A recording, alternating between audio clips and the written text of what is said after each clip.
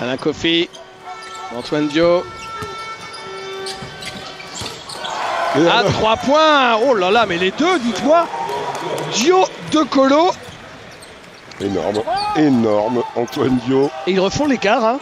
Ah Ils reviennent, ils refont l'écart. 31-24, plus 7. Milicevic, ballon perdu alors qu'il cherchait Kazoun dans l'axe. Antoine Dio, ressorti pour euh, Nando de Colo. Non, c'est raté Ça aurait donné 10 points d'avance à la France, ça. Et la dernière possession. La dernière possession croate qui match exactement avec celle du carton. D'abord Kos.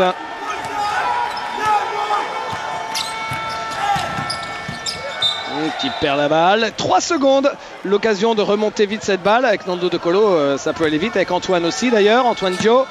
Regardez, allez c'est parti Antoine. Pour la télé Antoine, ça ah ouais, ouais, ouais, ah ouais, ouais, ouais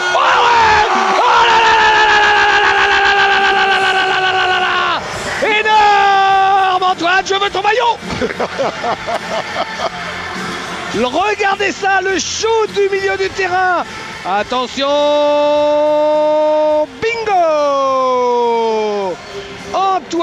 Du milieu du terrain Antoine, je t'aime Ah, ça fait plaisir, franchement. Ouais. Ça fait plaisir. Bien droit, bien tapé dans la planche. 34-24, c'est le score à la mi-temps.